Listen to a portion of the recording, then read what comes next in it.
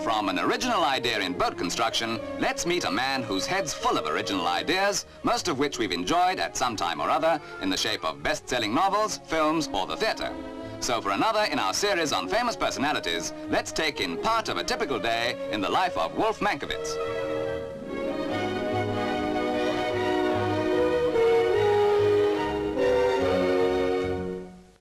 Mankowitz is a professional writer in the true sense. No question of waiting for inspiration or leaving a manuscript until he feels like writing. He works regular office hours at it, pounding out newspaper articles, short stories, novels, and film scripts, all with the same thoroughness.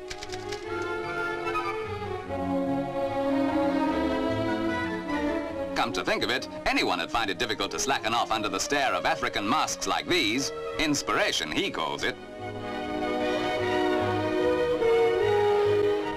A lesser-known talent, but one in which he first made his mark many years ago in the world of antiques and modern ceramics.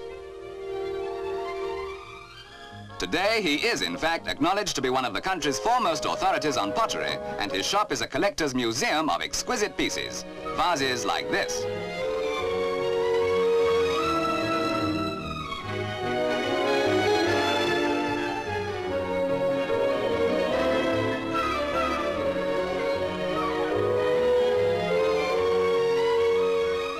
Another fine example is this chess set in faultless pottery, made in 1925, and today the only one of its kind in the world.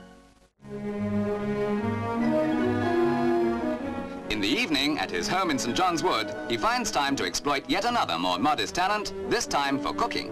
And while it's not true to say he slaves for hours over a hot gas stove, the kitchen does give him rein for his ingenuity. And the one time that Mrs. Mankowitz lets him get on with it is when he's serving up his speciality, hamburgers. Not look all that appetizing at this stage, but we're assured by the family they taste good. The recipe? Uh-huh, that's a professional secret. Anyway, as far as hamburgers go, you either instinctively know or you don't.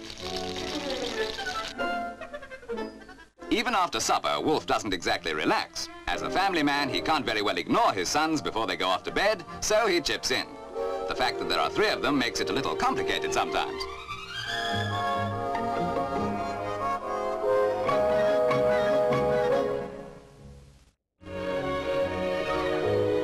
Strangely enough, none of the boys particularly wants to follow in Dad's footsteps.